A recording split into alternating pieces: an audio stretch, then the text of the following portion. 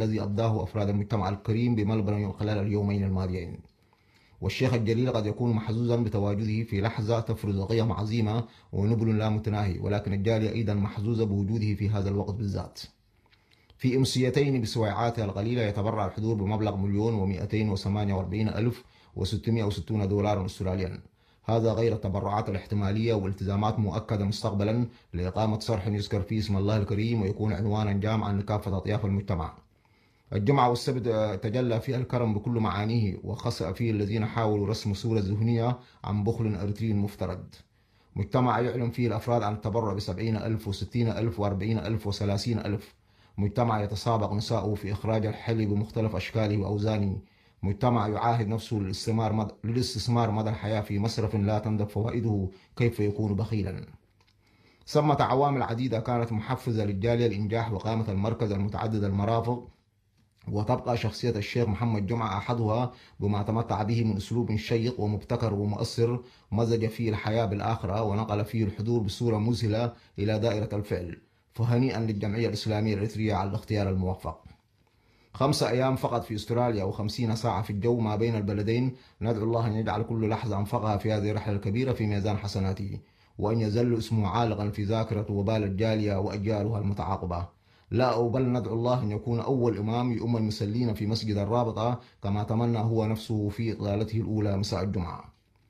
يوم أمس قابلته إذاعة الجالية الإريترية بملبن وسط برنامج مزدحم حاضر فيه إمام النساء أولا ثم الشباب من الجنسين ثانيا وكان ضيفا في مأدبة عشاء ترحيبية ليلا.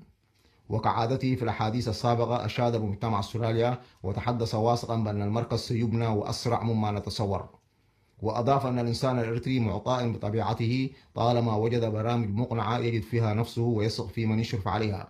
ويوصي القائمين على المركز بأن يجعلوه مزلة للجميع ويتطرق إلى قضايا وشؤون أخرى وشيئا من سيرته العطرة. كل ذلك سنذيع إليكم في اللقاء القادم بصوته فكونوا معنا.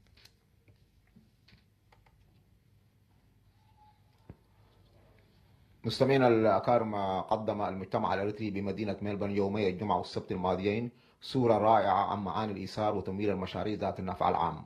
وذلك حين لبوا نداء الجمعية الإسلامية الأريترية للجود والتبرع لبناء صرح يذكر فيه اسم الله الكريم ويكون عنوانا لكافة أفراد المجتمع الأريتري في ليلتين جمع الحضور الموقر أكثر من مليون ونصف المليون دولار في وقفة فاصلة قل نظيرها وبدأ الآن تحقيق حلم بناء مركز الرابطة واقعا ملموسا أكثر من أي وقت مضى. الشيخ محمد جمعة أحمد بخيت أبو الرشيد ناشط أريتري وداعية إسلامي له بسمات واضحة في عدة مشاريع ببعض الدول الأوروبية. قدم من بريطانيا خاصة لإحياء ليالي الجود والكرم بمدينة ملبورن وكانت وكانت لخطبه مؤثرة دورا فعالا في نقل الحضور إلى دائرة الفعل. يسرنا أن نلتقي به في إذاعة الجالية الأريترية بمدينة ملبورن بمناسبة زيارته لأستراليا التي أصبح فيها محل حفاوة وتقدير. شيخنا محمد جمعة سلام الله عليكم. كثير من أفراد الجالية الأريترية يرحبون بكم وإلى حذر كأن علاقة سابقة تجمعكم به ما هي صلتكم بهذا المجتمع القادم بمدينة ملبورن بسم الله الرحمن الرحيم. الحمد لله والصلاة والسلام على رسول الله وعلى آله وصحبه ومن والاه. أولا أحب أن أشكركم الحضور لأن الجانب الإعلامي هو اليوم أصبح أهم شيء في أي عملية بناء أو عملية سواء كان للخير أو هدم للشر. نعم. فأشكر حضوركم وتفاعلكم وتوثيقكم وتسجيلكم للمشاريع اللي تقوم بها الجاليات الإريترية. علاقتي بالجالية هنا أولا علاقة وطن هم أهلي إريتريين. آه ثانيا كان عندي علاقة بهم عندما كنت طالبا في في مصر وكثير منهم قدم إلى هذه البلاد من مصر وهم طلاب يعني أفراد ووجدتهم اليوم عوائل وأسر تغيرت الأمور. ثم أيضا عندي معهم تواصل عبر الكتابات ومواقع التواصل الاجتماعي. فكثير من الشخصيات كنت ألتقي بهم في الفيسبوك والآن قابلتهم وجها لوجه فكانت مصدر سعادة كبيرة بالنسبة لي.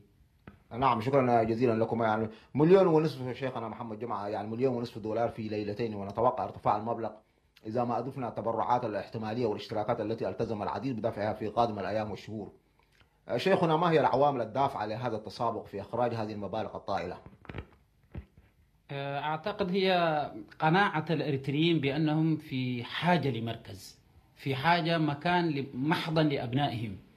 الجالية الإريترية كان يتوقع الجميع أن يكون عندها يعني مركز من قديم لأن الجالية أصلا هنا الموجودين هم ناس فيهم كم هائل جدا من المتعلمين والمثقفين وأصحاب شهادات عليا سياسيين شخصيات يعني بارزة كانت في المجتمع الإريتري اهتموا في مجال التعليم عملوا في مجال التعليم سنوات طويلة نعم. فكنا نتوقع غالبا أنه أستراليا حتشهد يعني نهضة كبيرة جدا في مجال إيجاد المراكز. فأعتقد كان في إحساس عند الجالية الإريترية أنها تأخرت.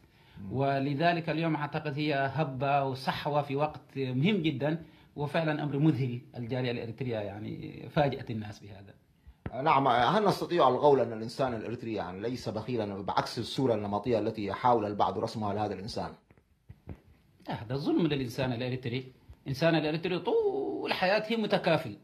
هذه طبيعة الشعب الإريتري. يعني ما في إنسان إريتري إلا و يعني يرزق يعني سبحان الله ينفق على إخوانه على أهله على كذا. يعني طبيعة الشعب الإريتري كلها حياة تكافل. من قديم مش من الآن. نعم. وحتى المساجد اللي بنت عندنا في إريتريا كلها كانت مدا- مساجد عبارة عن ما عندنا دولة كانت. وبالتالي كل المؤسسات اللي قيمت في إريتريا كانت عبارة عن آه، مبادرات أفراد. وشخصيات وأحياء. ما في عندنا ما عدا تقريبا آه، مسجد بني في مدينة أغرداد ما نعرف نحن حكومة بنت لنا مساجد. فكل المؤسسات والمعاهد والخلاوي اللي قائمة في إريتريا جميعها كلها من جيوب الإريتريين كيف يكون شعب بخيل؟ نعم. جميل جدا. يعني اذا أيضا شيخنا محمد جمعة لاحظنا أن أنتم يعني وضعتم الشاة ليلة الجمعة طبعا الذي كنتم ترتدونه للمزاد تبرعا بسعره وفعلتم ذلك في مناسبة مماثلة بالسويد. آه، بحكم حضوركم لمناسبات يعني مشابهة هل وجدتم اختلاف بين الجالية الأريترية في أستراليا والجاليات الأريترية الأخرى؟ طبعا البلدان الأوروبية الأخرى كثير التردد عليها. في مخيمات صيفية في ندوات في ملتقيات. ف يعني أول مرة أنا أتي زيارة إلى إلى أس- أستراليا. نعم. وبحكم الرابط ال- الأشياء اللي ذكرناها من علاقتي بالناس ما حسست أنا غريب أو عندي شيء غريب فيه. لكن طبعا في تغيرات كبيرة جدا كما ذكرت لك في الأفراد في العوائل في كذا. فبالنسبة لي وجدت جالية أكثر ما كنت أتوقع في ضخامتها وحجمها. فالمقارنة هم إريتريين أينما كانوا نعم. أينما كانوا. لكن الشيء يمكن المختلف تماما هذه المرة أن الجالية يعني خطت خطوة كبيرة على الأقل خطوة نفسية أنه هي تريد أن تجدد في حياتها ومسارها وكذا وتستقر أيضا لأنه القلق اللي ساحب الجاليات الإريترية في الغرب سنوات طويلة مترددة حتعيش حترجع. أنا أعتقد الآن الإنسان الإريتري في أستراليا وضع موطئ قدمه كهذا البلد كوطن له إلى الأقل. وهذه ربما هي واحدة من القناعات اللي دفعت الناس أن يستقروا لأن بعد المكان يعني إحنا الآن في العالم آه، في أوروبا عندنا الارتباط الدائم بال... وعندنا إحساس إنه ممكن نعود في أي لحظة. لكن أعتقد الناس في أستراليا ربما في شعور متجذر عندهم إنهم حيبقوا في هذه البلاد. فربما هذا هو الخلاف الأصلي اللي موجود في في القضية شعور الناس هنا بالبقاء. وأعتقد لذلك التضحية حتكون غالية ومهمة وبالنسبه لهم. أما البلدان الأوروبية الأخرى إلى وقت قريب كان عندهم هذا التنازع النفسي. حيرجعوا حيعودوا حيرجعوا أخيرا طبعا اقتنعوا إنه خلاص وجب البقاء والأجيال نفسها اللي كانوا يحلموا بالوطن كثير منهم رحل لكن أعتقد هنا في أستراليا بحكم البعد المكاني وغيره الناس يبدو عليها يعني استعدت للبقاء إلى حد ما وفتح مؤسسات وهيئات وكذا يعني نعم بمناسبة هذا ذكر هذا هذه الإجابة طبعا كيف ترون دور الجاليات في المهجر نحو المجتمع الذي تعيش فيه وحول بلدها الأصلي أريتريا؟ بالنسبة للمجتمعات عندنا أفراد قليلين جدا اللي عندهم مساهمات في المجتمعات اللي عايشين فيها. تجد عندنا في السويد في ألمانيا في يعني في أستراليا هنا. عبارة عن أفراد. أما الجالية ككل في توجه عشان تكون أداة ضغط لتحقيق أغراض معينة أو كذا يعني لم نصل بعد مثلنا مثل كل الجاليات المهاجرة لم نصل إلى نضج في هذا الجانب. لكن ال- الاريتريين هو أهم نقطة تميزهم هو تعاونهم مع الجاليات المماثلة لهم. الاريتري تجده أسهل الناس وأكثر تعاملا مع الجاليات اللي الموجوده بينما تجد انغلاق في الجاليات الأخرى الاريتري تجده في كل المؤسسات اللي موجودة في المساجد في الجمعيات في الهيئات. وأعتقد هذا كان حاصل في في هذا البلد على حسب ما سمعت. الاريتريين كانوا موجودين في جميع المؤسسات. مشيت مساجد مراكز التقيت بالأئمة خلال هذه الأيام. الكل يقول أنا عندي أصدقاء اريتريين كانوا معنا في المؤسسة اريتريين كانوا معنا في كذا اريتريين فالدور في وسط المؤسسات المهاجرة قوي بالنسبة للاريتريين تجاه الدولة والمواطنين والوطن للأسف نحن ما زلنا في هذا الجانب لم نحقق وينبغي أن ندفع أبنائنا حتى يتبوأوا مواقع في البلدان اللي يعيشوا فيها بحيث يكون لهم تأثير أيضا في المستقبل في بلدانهم. فأوجه في الحقيقة نداء أنه ينبغي الناس أن تستفيد من البلدان العايشة فيها وتفيد. هذا مهم جدا. نعم ذكرتم في الكلمات التي ألغيتمها مساء الجمعة والسبت أيضا أن أعمال الخير والصدقة الجارية تعود بالنفع. لصاحبها في حياته أيضا يعني هل هل تعدد لنا فوائد الصدقة في الإسلام؟ هي هذه تحتاج إلى محاضرة طويلة لكن نعم. فوائد ولو ف... بإخبار. ف... عندها فوائد اجتماعية وفوائد إنسانية وفوائد ربانية فوائدها الربانية معروفة أن الإنسان الحسنة يكافئ فيها بالحسنة ويجازى في الجنة الفوائدها الاجتماعية ال- الصدقة تعزز أواصر ال- الأخوة بين المجتمعات نعم نحن عندنا مثلا أنا أرأس آه، مجلس أمناء جمعية خيرية.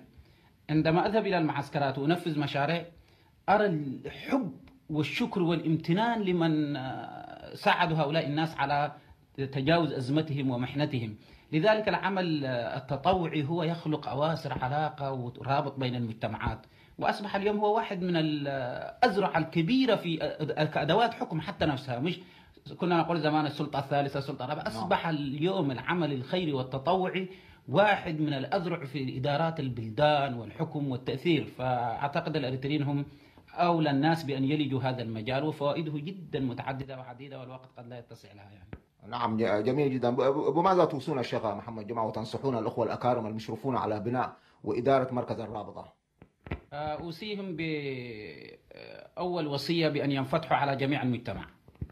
وأن يعتبروا هذا المركز هو بيت لأي إنسان إريتري وأن يوسعوا التعاون مع الكل مع الصغير مع الكبير مع المرأة. وخاصة سعدت أنهم عايز يشركوا المرأة والشباب في بناء المركز وإدارته. وهذا شيء أسعدني جدا لأن هذه هي الشريحة المحتاجة لهذا المركز بالمقام الأول. فنتمنى إن شاء الله يكون هذا المركز عنوان فعلا لإريتريا. والأخوة أن يوسعوا دائرة التعامل وحتى أن يكون المركز هذا انطلاق لمراكز أخرى بحيث من هنا إن شاء الله نبدأ انطلاقة لبناء مراكز في باقي المدن ال- الأسترالية. وأنا جدا في غاية السرور أنه نحن نتحول إلى مجتمع مفيد لا مجتمع يعني متلقي دائما. وجزاك الله خير. بارك الله فيكم. إذا يمكن السؤال الأخير يعني كيف ترون صورة الجالية التي في أستراليا وفي الدول التي تزورونها؟ كيف عندكم الصورة هناك؟ الصورة في الدول الغربية تطور ال- الجاليات ال- الإريترية هناك حيث استقرت من زمن طويل وسهولة التواصل وانفتاح التعليم. فعندنا اليوم أجيال آه، عندها رصيد كبير من التعليم. عندنا مثلا في بريطانيا اليوم في مواقع متقدمة جدا عندنا أطباء مهندسين سياسيين. يعني ال- الجالية الإريترية فعلا اليوم فيها إمكانيات هائلة جدا وكبيرة. بالنسبة لأستراليا لا أدري لكن أنا أعرف أنها جالية حديثة إلى حد ما وأعتقد آه، ربما تتطور بشكل إيجابي. كنت أسأل اليوم بعض الشباب يقول لي بعضهم يدرس قانون بعضهم يدرس كذا. فأعتقد بإستراليا ما عندي بالتحديد رؤية متكاملة. لكن بالنسبة للدول الأوروبية في تطور هائل للجالية في الأجيال الجديدة. آه، نعم جميل جدا. آه، يعني للأسف نحن المفروض كنا نبدا بالسؤال عنكم شخصيا عن سيرتكم الذاتية. طبعا عرفناكم رجل دعوي ما شاء الله وعرفناكم أيضا في النشاط السياسي. ولو بعجاله من هو الشيخ محمد جمعة؟ أنا اسمي محمد جمعة أحمد بخيت. آه، مولود في منطقة عنسبة في إريتريا. آه، أكملت دراستي في جامعة الأزهر الشريف. آه، أب ومتزوج وعنده أطفال. وعندي يعني درست في مجال الشريعة ومجال القانون وتدربت في مجال المحاماة. ولكن عندما خرجت إلى أوروبا رميت القانون وتحولت تماما إلى المجال الأصلي هو مجال الدعوة و يعني الحمد لله أنا اليوم عضو في عدد كبير من المؤسسات الشرعية في في أوروبا وجمعيات ثقافية ومستشار في بعض المراكز وعضو في بعض المراكز وأيضا أرأس مجلس أمناء إيثار وعضو في كثير من المجالس الفتوى نعم. في في أوروبا ويعني يجتهد الإنسان. أنا كل أحلم اللي أحلم به رضا الله سبحانه وتعالى وأن أعكس صورة طيبة لبلدي وأن أكون مثال لجاليات في الغرب وأساعد في هذا. هذا هو الحلم الذي عندي يعني. نعم على ذكر منظمة إيسا الأستاذ سلطان دين بصورة بصورة مؤثرة وذكرتم فضائلها أيضا بالنسبة للاجئين يعني. ماذا تقولون عن هذه المنظمة وعن هذا الأستاذ الكبير؟ ربنا يشافيه إن شاء الله. إيثار هي مؤسسة أنشأها الأخ سلطان أسسها الأخ سلطان في 2007 وبدأت أعمالها و... وهي الحمد لله لها مع أنها ما زالت مؤسسة صغيرة لكن لها مساهمات كبيرة اليوم حيث بنينا مدارس وآبار وكذلك عندنا مساجد مساجد دعمنا خلاوي. وما زلنا نطمح وإحنا في الحقيقة فخورين بالشعب الإريتري لأن كثير من الناس يتكلموا على إحباطات للشعب الإريتري. فالشعب الإريتري هذا هو في أستراليا الآن غير صورة الإنسان ربما صورة نمطية الناس يرسمون الإنسان الإريتري. نعم. إيثار إحنا رسمت لنا شخصية الإنسان الإريتري لأنه نحن نعيش في مدينة واحدة وتأتينا التبرعات من جميع أماكن تواجد الإريتريين. إنسان يتطوع لك من غير ما يعني يجبره أحد. بشعوره منه أنه يعني محتاجين أهله إلى إلى مساعدة. فنحن نشكر المجتمع الإريتري صراحة وأنت هذا السؤال بالنسبة لي يعتبر يعني سؤال مهم جدا وأخي سلطان كان مريض بالسرطان شفاه الله سبحانه وتعالى بفضل الله ثم دعوات الأخيار وهو الآن إن شاء الله يعود إلى رسالته ونسأل الله عز وجل إن شاء الله أنا وهو نوفق للقدوم إليكم مرة أخرى إن شاء الله تعالى. إن شاء الله إن شاء الله ونستقبلكم إن شاء الله بكل ترحاب وكل حسن استراليا كلها أقول لهم يعني أعطيتم يعني الأمل والطموح للجاليات الأخرى حتى تحذوا حذوكم أنتم جالية جئتم متأخرين في الهجرة لكن اصبحتوا الأول في في التحرك. فهذا بالنسبة لكم كجاليه إريتريا هنا يعتبر يعني شرف كبير جدا أن تكونوا أنتم القدوة. أدعوكم إلى الوحدة إلى التماسك إلى التآلف الاهتمام بوطنكم بأولادكم بأجيالكم.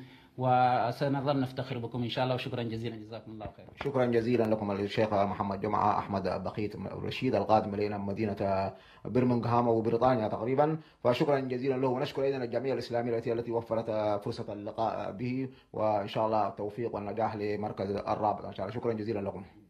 الله يبارك. مستمعينا الأكارم كان ذلك الشيخ محمد جمعة.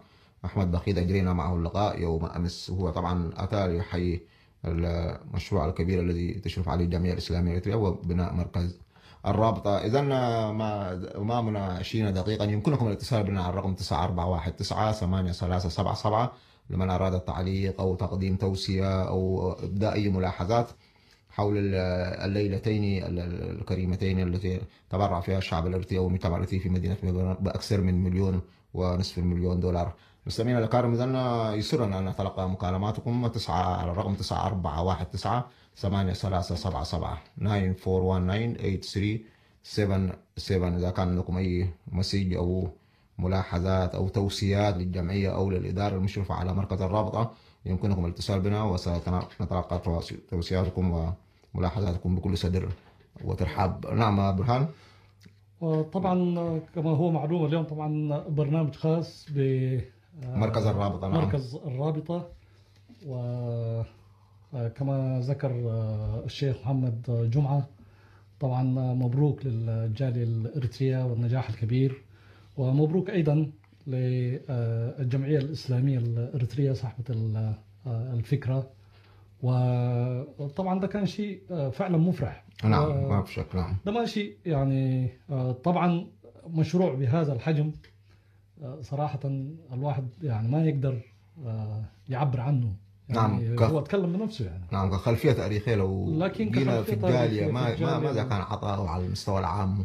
الجالية الإريترية في أستراليا. بمختلف فئاتها سواء نعم. كان في الجمعية الإسلامية أو الجالية آه، طبعا هو معروف يعني آه، مثلا في آه، الجمعية الإسلامية نعم اللي هو موضوع آه، يعني إكرام الموتى المشروع ده طبعا ماسكه الجمعية الإسلامية وهو يمكن أحد المشاريع ال- اللي ساتر موتانا هنا في. في ملبورن وهو مشروع ناجح. وأيضا آه، موضوع آه، المسابقة سنويا. نعم. وده أيضا دا يعني آه، دعمت الجمعية الإسلامية باجرائها في فترات مختلفة بالشراكة وأغلب الفترات طبعا يعني هي اللي بتعمل ال main sponsor لهذه المسابقة. وأيضا هذه المسابقة يعني أظهرت نجاح كبير في الأعوام السابقة. نعم. سواء كان مثلا بجوائز ال- المسابقات التي تقدم والمشاركين والداعمين.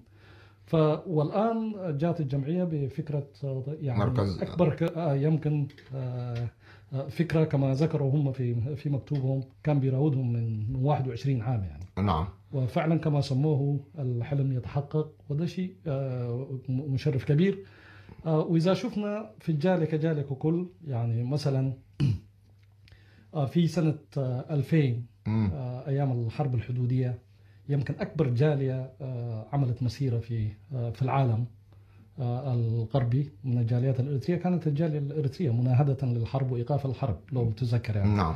آه، أيضا حدث كبير بعده كان حملة مشتركة سواء كان من الجمعية الإسلامية والفعاليات والجالية الإريترية بإقاصة اللاجئين الجدد والحاويه الحاويتين والحاوية تقريبا مشحونة بالأكل و17 ألف دولار آه، جمعت آه، في خلال آه، شهرين تقريبا نعم. لو نتذكر في 2006 أيضا حمله ال- دعم اللاجئين بملابس حاويتين تحركوا من مقر الجالية آه، أيضا بعد ذلك ظهور آه، المنظمة الإريترية المنظمة للعون نعم. الإنساني نعم. آه، للمدارس. نعم أيضا آه، نذكر بالليلة الإنسانية طبعا أقامها موقع أونا.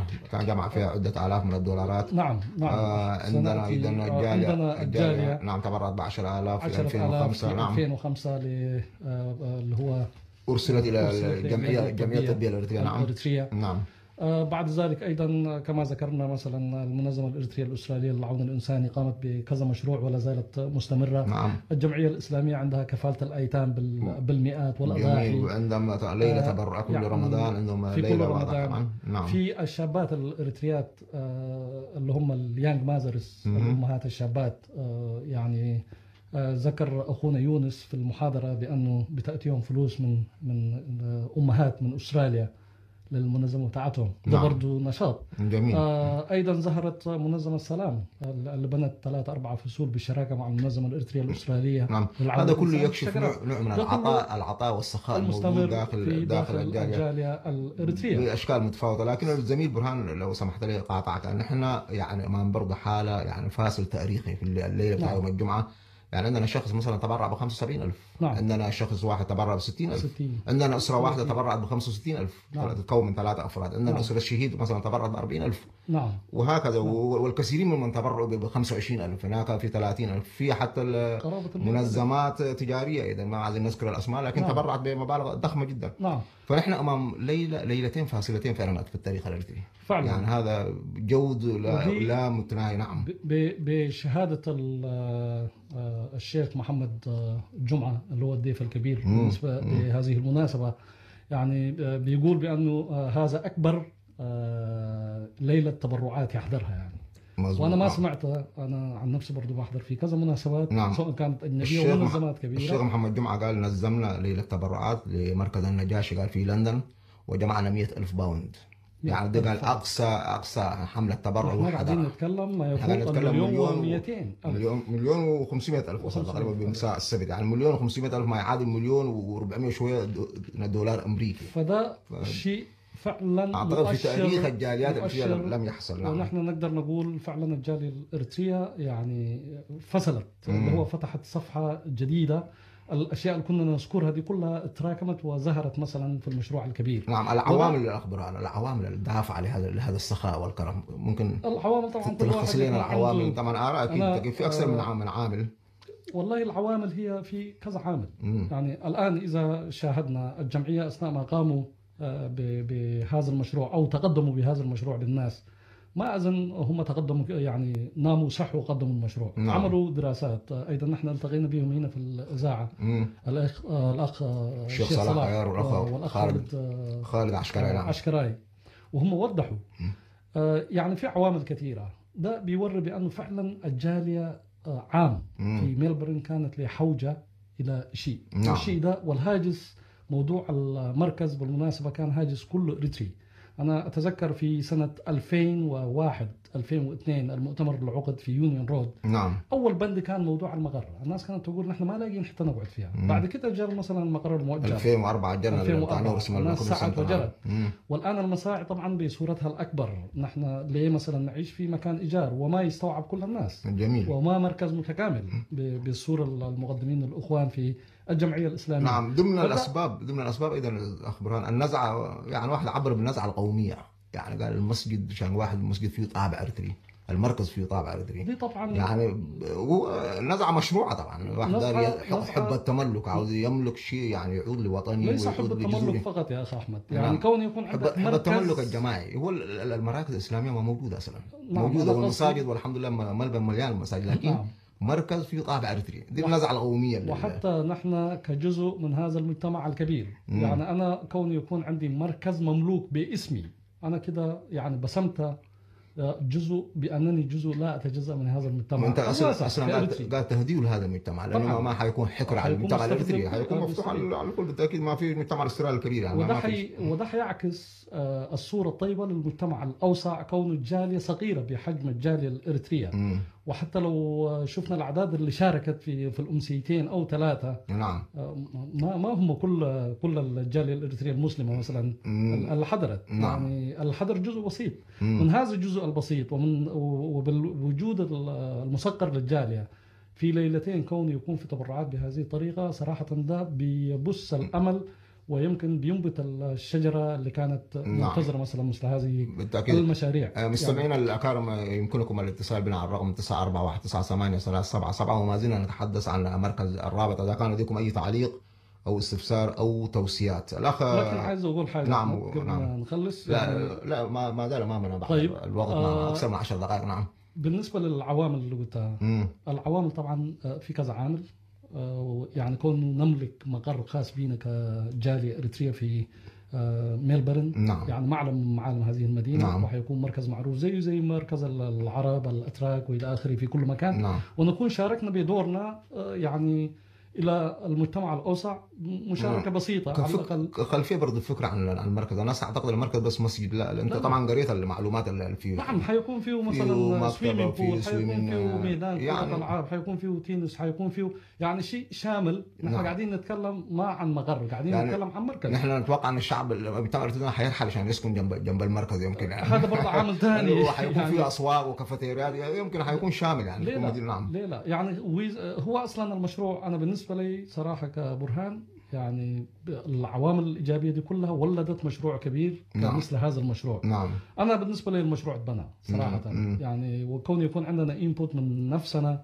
يعني ودي كبداية هي ومتأكد أنا متأكد يعني في ناس لا زالت حتتبرع وحتواصل في في التبرع نعم ويعني ال- ال- البداية صراحة بداية نعم. إيجابية كبيرة نعم. لكن لابد أن ننتبه لشيء حاجيك حاجيك للتوصيات لك نعم. لكن ال- ال- الثقة شو رأيك في الثقة إذا من العوامل الناس وثقت في هذه الإدارة في هذه الجمعية نعم. دي من العوامل المحفزة ما ما, ما. في شك يعني نعم آه، يعني كونه الناس يكون عندها ثقة في الجمعية الإسلامية خلال السنين اللي مضت نعم آه، الجمعية الإسلامية وهبت يعني ثقة خلقت ثقة بينها. وبين الناس عامة مم. وبينها وبين أعدائها خاص شايف يعني موضوع آه، إكرام الموتى. جميل. يعني الجمعية ماسكاه من سنين. ما في إنسان دافع مثلا قروشه وتوفى وتأخر جنازته بسبب آه، قروش. نعم. الأخوان جاهزين يعني يقاطعوا من عملهم يجي يعملوا الإجراءات. ده شيء بيدي آه، ثقة. نعم. ما سمعنا أي نوع من يعني التذمر تذمر الشكوى الناس نعم. أو شكوى. بالعكس. الباب مفتوح دائما والإخوان ماسكين الفورمات بتاعتهم حتى وقت يجي زول إنسان جديد بيسجلوا إلى آخره. ده بيديك الثقه نعم. رقم اثنين المسابقات القرآنية اللي بيعملوها بيديك القرآن لأنه عندهم في ال- قروش المدرسة بتيجي نعم المدرسة بالآلاف. المدرسة مثلا الأسبوعية 30 40 ألف نعم. بان وزعت كيف. نعم. رقم ثلاثة ال- اللي هو موضوع الأيتام مثلا في معسكرات اللاجئين. الأضاحي. يعني منظمة أو جمعية كجمعية يعني نجحت في كل البرامج اللي أشرفت عليها اللي وال- أشرفت وال- عليه. والأقامتها فده. بيديها طبعا حافز آه، مش لمليون ممكن لملايين الدولارات يعني. نعم شكرا جزيلا ما زلنا مستمرين طبعا معك. بس خلينا نلفت انتباه ال- السادة الأكارم على إنه كان ضمن الناس المتحدثين يوم الجمعة طبعا الشيخ أحمد القداح وأحمد القداح طبعا عالم وله مؤلفات عديدة وهو مجلس أعيان طبعا في اردني سابق فألقى أيضا كلمة مؤثرة. هو وسيد بشار الجمل رئيس ال- هيئة الأعمال الخيرية في فرع استراليا جو